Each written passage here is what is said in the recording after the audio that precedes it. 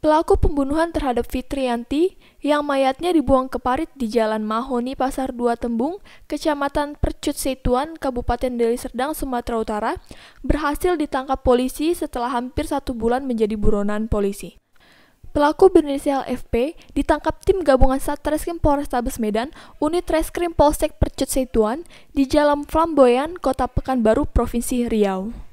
Kapolres Sabes Medan Kombes Pol Riko Sunarko saat menggelar konferensi pers di halaman Mapolres Sabes Medan mengatakan pelaku adalah suami siri korban.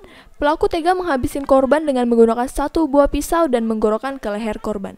Pelaku saat ini dijerat dengan pasal 340 subsider, 338 KUH pidana dengan ancaman hukuman mati. Berhasil mengamankan kemarin dari Senin. Dia pelarian menggunakan busik atau berganti atau naik apa? Jadi hasil kerja keras tim gabungan rekan-rekan Satreskrim Polrestabes Medan dan unit reskrim Polsek Percut Setuan kami berhasil mengamankan tersangka atas nama FP yang bersangkutan mengaku bahwa mempunyai hubungan asmara dengan korban. Kemudian tersangka ditangkap hari apa Hari Senin.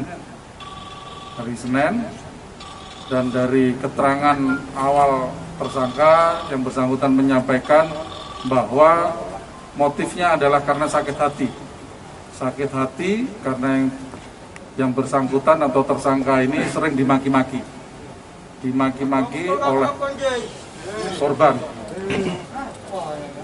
dimaki oleh korban karena pengakuan daripada tersangka korban ini minta dibelikan rumah minta dibelikan rumah dan tersangka belum bisa menyanggupi